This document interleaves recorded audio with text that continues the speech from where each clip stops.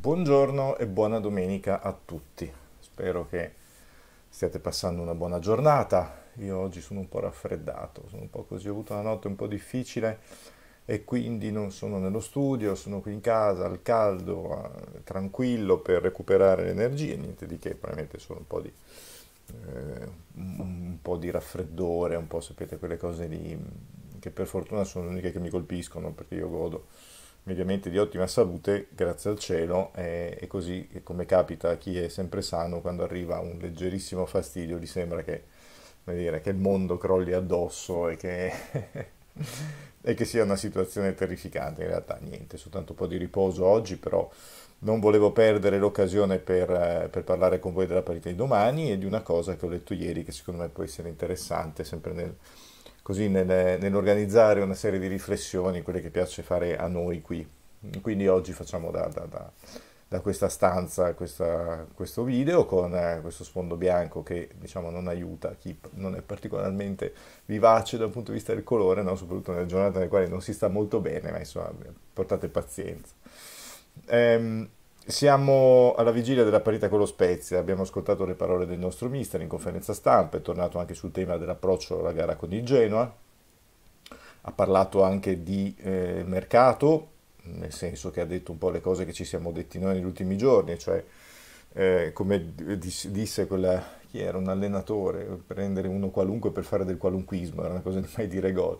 Non prenderemo gente a caso, prenderemo gente mirata per il nostro progetto l'ha detto anche eh, oggi, l'ha ribadito in conferenza Pioli, io aggiungo se prenderemo qualcuno naturalmente.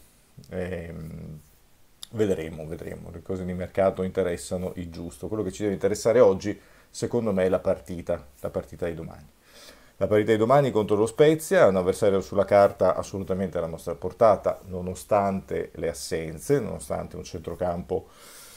diciamo, improvvisato e poco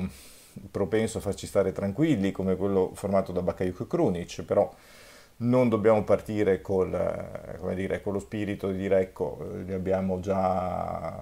crocifissi, li abbiamo già condannati, sono già sicuro che faremo una pessima parità domani. Non è così. Eh, lo Spezia è una squadra che si sta barcamenando in questa stagione dal mio punto di vista, anche bene nell'ultimo periodo, perché comunque ha vinto a Napoli, seppur diciamo in condizioni particolarmente fortunate, ma ha vinto a Napoli. Poi ha vinto a Marassi con il Genoa, giocando meglio rispetto alla gara del Maradona e, e dimostrando comunque di, dire, essere sulla strada giusta per trovare una, una dimensione. No? Tiago Motta ha avuto problemi, poi è stato messo spesso anche eh, sulla graticola, te ne vai, ti mandiamo via, licenziato, eccetera, come è accaduto tra l'altro ad Andriy Shevchenko, che è stato esonerato dal Genoa mh, dopo la miglior prestazione con il Genoa, quindi vabbè. Insomma, sappiamo che però da quelle parti, come dire, c'è una certa frenesia, nonostante il cambio di proprietà, nonostante non ci sia più preziosi, ma hanno evidentemente quella tendenza, o probabilmente, anzi sicuramente c'erano cose che noi non sappiamo, che rendevano impossibile proseguire insieme. In ogni caso, tornando allo Spezia, non è una partita da sottovalutare, ma non è nemmeno una partita, diciamo, per la quale non possiamo fare a meno di, di, di certi giocatori. Eh, penso che quelli che ci saranno potranno essere sufficienti se, come ha detto Pioli, giocheremo come sappiamo, vinceremo. Chiaramente per giocare come sappiamo c'è bisogno anche di certi giocatori, che, che ne dica Enrico Sacchi, però c'è bisogno anche dei giocatori per giocare come sappiamo, perché altrimenti, come dire, le soluzioni si restringono. Ieri, a tal proposito, leggevo un, in un sito, che poi un giorno vi faccio vedere quando torno nello studio e ho i dispositivi tecnologici per farvi vedere delle cose. Eh, è un sito molto interessante di statistiche, di statistiche molto dettagliate sui principali campionati, sui singoli giocatori, sui, su, su, appunto sui tornei. E guardando quello della Serie A, ad un certo punto eh, mi sono soffermato sulla capacità delle squadre di giocare il pallone lungo cioè del lancio lungo, percentuale riuscita rispetto ai tentativi e tutte queste cose qua. Ne emerge chiaramente, forse non serviva nemmeno andare a leggere la statistica per capirlo, ma in ogni caso l'ho fatto perché mi piacciono queste cose, emerge che il Milan è una squadra che non ha la propensione a giocare sul lungo. Chiaramente questo è dettato dal fatto che il nostro gioco si deve sviluppare in un certo modo, ma questo è anche dettato dal fatto che non abbiamo un, un, un, giocatori che sanno giocare sul lungo. Se andiamo a guardare le statistiche, in, in generale il Milan è diciamo poco sopra la metà dal punto di vista dell'elenco delle squadre della Serie A per quel che riguarda la precisione dei passaggi sul lungo, ma anche i tentativi di passaggi fatti sul lungo. E il giocatore da noi che ha completato il maggior numero di passaggi lunghi, sapete chi è? È Mike Megnan. Quindi diciamo il nostro giocatore migliore dal punto di vista del, del, di questa soluzione, di questa idea, no? di questa possibilità di gioco è il nostro portiere. Poi dopo c'è Tomori, poi dopo che insomma, Pioli spera di recuperare nel giro di poche partite, poi vado a memoria, poi dopo credo ci sia Benasser, eh, ma insomma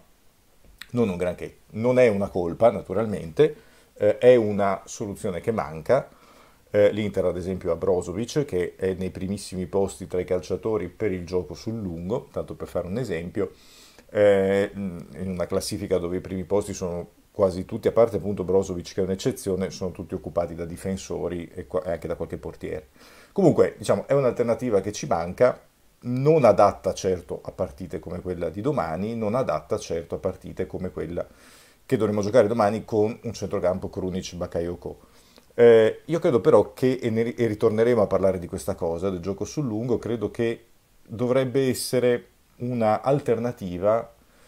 che sarebbe bello poter sviluppare nei, nei prossimi anni, diciamo, cioè con o l'inserimento di qualche giocatore o anche un sistema di gioco un po' diverso perché eh, martedì pubblicherò qui il, eh, la, la, partita integrale tra Milan e Juventus del 2002-2003 eh, quella che poi diciamo, in quella stagione poi finita a Manchester, del famoso Se c'era, e, e lì vedrete, chi avrà il piacere di farlo, di rivedere la partita, vedrete come quel Milan,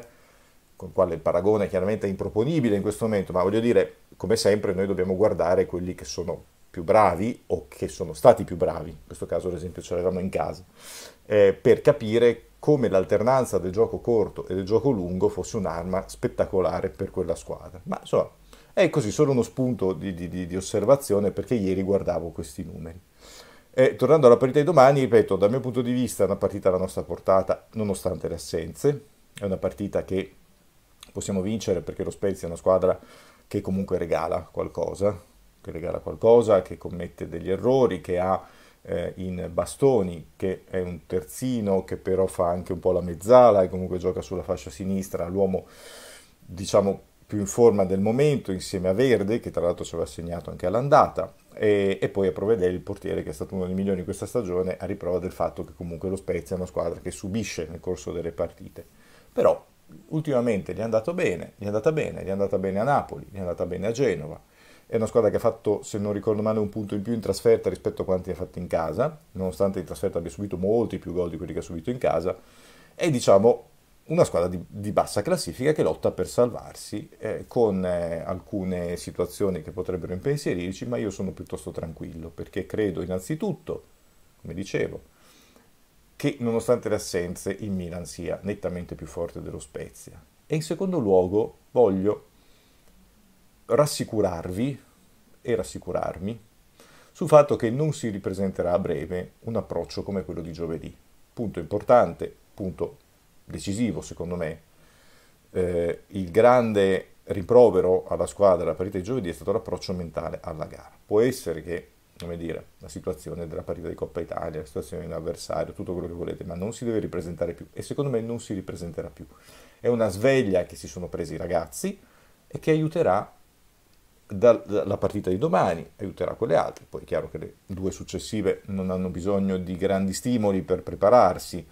eh, per essere preparate, però in ogni caso io credo che domani non vedremo eh, un atteggiamento di sufficienza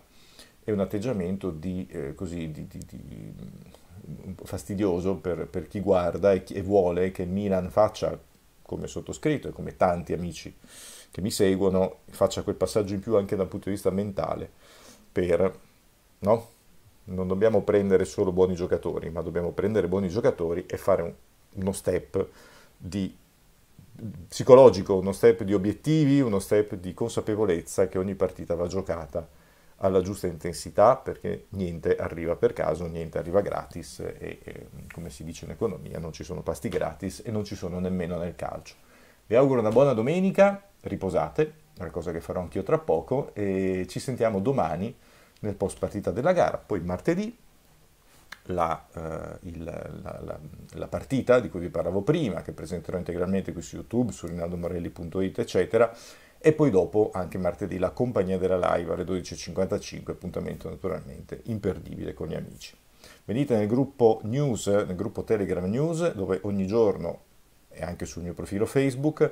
ogni giorno ci sono appuntamenti con la storia del Milan. Oggi ce n'è uno particolarmente violento perché riguarda i nostri colori che vi consiglio di andare a leggere. Buona domenica.